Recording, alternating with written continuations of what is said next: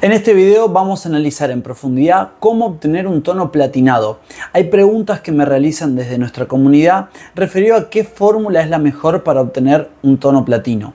La realidad es que hay muchos caminos que nos pueden llevar hacia dicho efecto de tono platinado. Lo que hay que entender de en primera instancia es que lo que te va a dar a vos el tono platinado, primero que nada va a ser el fondo en decoloración o fondo en aclaramiento como nosotros llamamos desde la parte técnica. Hay una pregunta muy puntual que me hacen desde nuestra comunidad que refiere a si pueden mezclar estas tres fórmulas. Y vamos a anotarlas para tener la referencia. La primera es 8,2 más 8,21 más 8,11. ¿Se puede hacer esto? ¿Esta fórmula me da un tono platino? Vamos a ir descartando qué tintes en esta fórmula están de más y qué podría ser lo mejor para obtener dicho tono. Vamos a ver puntualmente acá. ¿Cuál sería el tono que nosotros tendríamos de más en toda esta ecuación? Teniendo en cuenta que los tonos platinados son tonos que son más pálidos, que son más grisáceos, tenemos que comprender que en primera instancia podemos tener un tono muy similar a este, como vemos acá. Entonces, si buscamos un tono de esas características, nosotros lo que primero tenemos que anular acá es el tono contribuyente que nos está molestando. El 8,2 estaría de más porque los 2 son perlados, con lo cual anulamos ya de por sí que el 8,2 esté en la fórmula. El 8,21 nos puede dar un tono grisáceo y está bien buscarlo a la hora de buscar tonos más metalizados, pero también lo vamos a descartar. ¿Por qué? Porque no deja de ser un tono más metalizado, más gris y lo que buscamos es un platino. El platino tiene como pigmento de contribución un efecto de doble carga acenizada. Eso significa que nos va a dar un resultado mucho más parecido a este que se ve aquí que no tiene nada de perla, que es un 911. Entonces, ¿qué tendríamos que hacer para obtener un tono platino desde esta interpretación? Entender de que estas dos fórmulas en la previa no tienen nada que ver con lo que uno busca a la hora de obtener el tono en sí, pero sí podemos obtener este tono que es el 811 sobre un fondo en decoloración de 8. Y aquí sale la gran pregunta, Hernán, ¿no me va a quedar como verdoso el tono si aplico un 811 sobre un fondo 8?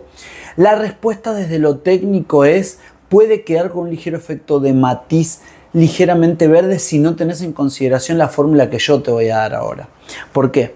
Porque comprendiendo que el fondo en decoloración tiene que ser de 8, como se, como se ve acá y lo vamos a remarcar, aplicando el 811 sobre esto que tiene amarillo, amarillo, puede dar esa connotación ligeramente verde.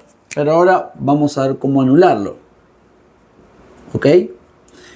Esto puede dar en doble carga un fondo que sea dorado con un efecto ligeramente verdoso. No digo verde, ligeramente verdoso. Pero vamos a ver cómo poder trabajar la nomenclatura sin que quede con ese ligero efecto. Ya dijimos que el 8.2 y el 8.21 los vamos a borrar porque no tienen nada que ver con lo que estamos buscando en este caso. Sí son buenos para otro tipo de efectos, pero en este caso estamos buscando otra cosa. Entonces, ya que tenemos esto directamente ahí, lo que vamos a buscar es complementar. Si trabajo el 811 voy a tener que trabajar un tono base. 8 natural más 8,11. Esta nomenclatura sí me puede dar a mí en una proporción que les voy a dar ahora un efecto que no va a quedar verde. Y aquí podemos trabajar para que se vea bien. Vamos a agarrar esto para que se note vamos a utilizar mitad de 8 para darle base al color. Esto significa que al darle base yo me estoy asegurando de que mi tonalidad no tienda a generar ningún efecto subyacente indeseado. En este caso, trabajar directamente el 8 natural, que nos va a dar un cimiento. Por eso yo hablo de base. ¿ok? Y por el otro lado, el 8,11 en otra proporción de mitad que ejerce el efecto de matiz de aporte. esta nomenclatura con esta nomenclatura mitad por mitad te van a dar el resultado que vos estás buscando de un efecto platinado, similar al que vimos acá en nuestra carta de colores del 911. ¿Se entiende? Pero eh, obviamente no estamos trabajando en 911, pero va a quedar muy similar a esto, pero en una altura 8. Eso quiere decir que se va a ver con una opacidad un poco más baja. Una vez que comprendo esto, me falta algo más por entender. ¿En qué peróxido trabajo? Y acá podemos trabajar con dos opciones. Si querés mucha profundidad, 10 volúmenes de peróxido. 10 volúmenes de peróxido acentúa el color de una manera en la cual se ve con una opacidad totalmente baja. Las opacidades bajas son cuando el color se ve completamente penetrante desde lo visual y se ve muy firme, donde el color puede llegar a interpretarse sin serlo más oscuro. Es una interpretación visual que parece un poquito más oscuro, pero en realidad no es que es más oscuro, es más profundo, que es distinto. Y después si uno busca más intensidad, podemos trabajar o podemos trabajar con peróxido de 15 volúmenes. El peróxido de 15 mantiene aporte y nos está dando directamente un efecto más intenso. Intensidad. Intensidad. Y esto es profundo. Pero profundo. Ok. La diferencia entre profundo e intenso es que con la intensidad yo voy a lograr que mi color no se vea con opacidad baja, no se vea oscuro y que me dé a mí en consecuencia un resultado final de un color con nitidez visual de mayor claridad. Eso quiere decir que no voy a oscurecer el tono cuando lo estoy tonalizando, pero sí voy a tener aporte con el 15 volúmenes, donde va a haber desarrollo de pigmento y donde va a haber tonalización junto a la mantención del fondo en decoloración. Cuando con 10 volúmenes de peróxido yo lo que más obtengo es profundidad y puro aporte y me oscurece un poco el fondo. ¿Se entiende? Esas son las diferencias. Ahora, sale una pregunta más. Hernán, ¿cómo hago yo para trabajar un peróxido de 15 si yo no tengo peróxido de 15? Ok, lo vamos a ver acá. Voy a borrar esta fórmula, ¿sí? Para que ya podamos darle paso a lo que sigue que está íntimamente ligado a cómo trabajar el volumen del peróxido. Porque si yo no tengo 15 volúmenes de peróxido, lo puedo formar. Y es acá donde viene lo lindo del color. Vamos a trabajar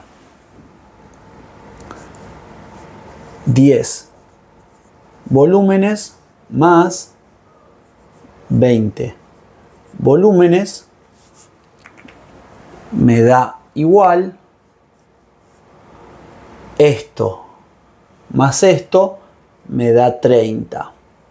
Los peróxidos no se pueden sumar escalando, pero sí pueden disminuir su peróxido en fuerza.